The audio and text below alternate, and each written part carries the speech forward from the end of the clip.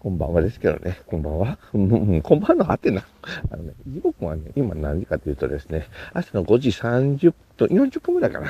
えー、なってます。どこかというと、最近もはやね、すっかりうちの旅のね、定番となりつつある、亀山駅前ですね。まあ、真っ暗ですけどね。夏だったらちょっと明るいんだろうけどな。えー今日はね、えーたま、そういやまだここ使ってなかったので、ケースパーキングさん使ってみました。200円のね、24時間200円のところなんですけど、えー、とね、あれですね。システムはね、奥のすみれさんとほぼ一緒。なんかあの、小屋があって、小屋の中にあの、券売機が置いてあって、それで、えー買えば大丈夫ですよっていう形なんで、ということなんでね、今、止めてきましたけど、今日はね、何をやろうかというとね、シンプルにバスト。えー久しぶり。め、うちにしては非常に珍しいんじゃないかな。鉄道企画です。いやいやいやいや、あんた、まあまあ鉄道乗ってへんかと思われるかもしれませんけど、うちって、いわゆる鉄道系な企画だったりし、なんか鉄道、鉄道系っぽい企画ね、えーはやることが多いんですけど、いわゆるちゃんとした鉄道企画ってあんましやらないんですよね。えーその中で言うと、うちが珍しく、今回は鉄道企画と、えー、堂々と言い張るような企画になっております。えー何をやるかというと、シンプルです。えーめちゃくちゃ長い、あの、めちゃめちゃ運行距離の長い普通列車に乗ろうのコーナーですね。えーということでね、実はね、今ね、えっ、と、なん、2分、2分4件えっ、とね、にまた、えっ、と、で、えーすごくね、長い、えー距離をね、走る列車がね、実はね、えっ、とね、ちょうど1年くらい前から春ダイヤの改正で、えー誕生してたんですよね。えっ、とね、どこからどこまで行くかというと、えー出発は柘植駅、柘植駅から、えー、こたつ店などを通って、なんとですね、網干駅まで行くっていうね、クレイジーな電車がね、えーあるらしいんですよ。それに乗るためにね、今回は、そうですよ、そのためだけに来てます。バカバカしい。それがね、1日1本、しかも平日の朝、6時30分発だったかなっていうね、でなかなかクレイジーな時間に出るんですよね。なもんでね、今の時間からこっちに来てるよというわけでございます。なんか昨日も来てんだよな、亀山駅なんなら。今年何回来てんだ俺、下手すりゃ4日一駅来てるんじゃねえか。えええその、地獄への片道切符が、よっこいしょ。もうね、切符は買ってあります。6時に開くんですけど、6時2分に出発するんだよね、電車が。ちょっと間に合わないといけないんで、そう、えっ、と、片道切符って言いましたけどね、今回、往復切符で買ってますね。よいしょ、ちょっと。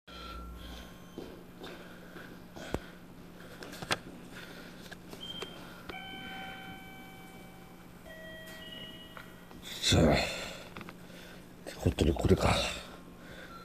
そう。えー亀山から網干まで。バカバカしい。そう今回ね、往復切符で買ってありますよ。まあ、ちょっと後で話しようか。これなんかでも来てるよな。なんだったっけ？あ、あの、4時台始発のやつだ。あれでも来てるし、これはこれか、4時54分発のやつでも来てますけど、今回はね、この6時2分発。これに乗ってかないといけない。5番乗り場なんだよね、ほら。これ気をつけないといけないんだと。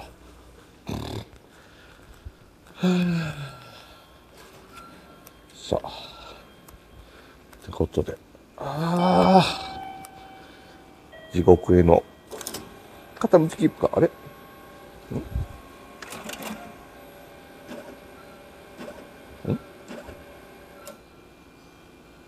あれ？オッケーオッケー。通れました。幸先悪すぎるやろ。ああ。いやー、ってことでね、網越まで行ってきます。ということでね、多分、えっ、ー、とね、動画内では初めてかな。往復切符っていうのをね、買いましたよ、ということでございます。今回はね、まあ別に片道で買ってもいいし、あれだったんですけど、うん。あの、最初はね、IC カードでね、あの、チャージで行けるんで、実はこの亀山からね、チャージでも行けるんで、それでも行こう、それで行こうかなとも、ちょっと思ったんですけど、えっ、ー、とね、それよりもね、こっちの方がちょっとメリットがあるぞということでね、あれです。金額的には、えっ、ー、と、亀山網干だと、えっ、ー、と、往復で買っても、片道で買っても、料金は変わらないし、割引とかはないですね。えっ、ー、と、3780円。よいしょ。よいしょ、ちょっとか、奥で説明しようか。おなんか来てる。これは、朝一の時刻でした。あんま普通、新宮行きじゃないですか。これにも乗りましたね。亀山発新宮行き、えー、各駅停車の旅というので、これも相当長い距離を走りますよね。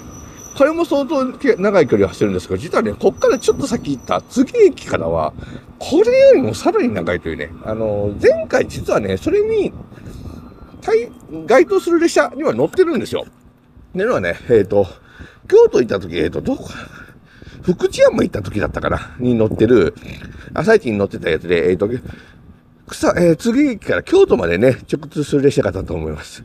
実はあの列車が運用が終了になりまして、代わりに生まれたのが、この京都発、あ柘植発、えー、柘植発、網干行きっていう、えー、ですか？ら、どれだけまたのかというと、三重県から始まって、滋賀県、京都府、大阪府、兵庫県、えー、2府、2府3県、ですから5府、5府県をまたぐという、えー、市町村のまたいでる数で一体どんだけまたいでるんだという、えー、すごい、えー、列車がついたんですね。ただこれがね、平日オンリーで、平日オンリーの運用で、確か今もね、休日は、えっ、ー、とね、京都行きになってるのかな。で、えー、ですからこれ平日でないと乗れないで、なかなかね、タイミングがなかったんですけどね、ちょうどね、えー、時間がね、作れましたんで、これはもう今行くしかねえと、えー、いうことでね、えー、やってきましたよ。すげえよ。55分。まあ、6時2分出発なんです結構直前に入ってきますもんね。この列車は。えー、ということでね、往復、あ、そう、往復切符で買いましたよと。な、なんで往復切符？まあ、えっ、ー、とね、往復切符で買うっていうこと自体でそこまで言わなかったんですけど、えっ、ー、とね、切符で買っときたかった。あの、IC カードだと、えっ、ー、とね、今後の距離になってくると何が変わってくるかっていうと、えっ、とね、往復乗車券で買っとくメリットとしては、え一つ目はね、有効期間が伸びる。で、今回はあまりこれは関係ないんですけど、有効期間が伸びるんですよね。あの、往復の距離数に応じたやつになるんで、ですので、えっ、ー、とね、今これ帰りの切符ですけど、これね、えっ、ー、と、2月5日から10日まで有効ってんですよ。5日間もあるんですよね。で、普通この距離だと、えっ、ー、とね、2日か3日なんですよ。3日分ぐらいのあれなのかなっていうところなんですけど、これがね、5日前に伸びる。で、これがね、往復だと、こっちも10日前になるんですよ。なので、雪の、えっ、ー、と、有効期間が、えー、伸ばすことができるよ。往復も絶対 JR さん使いますからね、と、えー、いうことでございますから、ならね、はいはいはい。もうその距離、それだけ、あの、旅をするよと、往復しっかりと旅をするよっていう前提で、えー、時間のマージンを取ってくれるんで、この有効期間がまず伸びるよと。えー、いうのがあります。で、言ってたら来た。で、もっと距離が伸びてくると、ちょっと往復にした時の方が、ちょっと値料金が安くなるようなケースもあるのかなさあ、二条先生やってきましたね。さあ、これで、とりあえ次まで行って、大変な大変な旅の始まりでございますよ。ああ、ああ、ああ。よいしょ。